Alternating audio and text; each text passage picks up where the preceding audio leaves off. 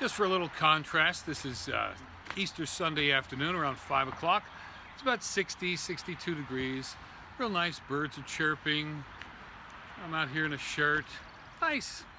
Let's check in with Easter Monday morning on the way to work.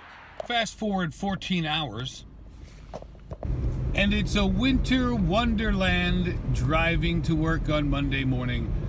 The New Jersey Turnpike is closed around exit 6, so that made 295 my normal route, all backed up. So I'm on Route 206 in lovely Bordentown, hoping to make it to work on time.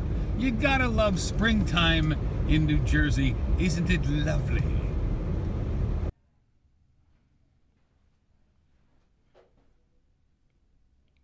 You're still here? Video's over. You can subscribe to our channel, click on the logo for more great content from New Jersey 101.5, comment, share, click another video. This one's done.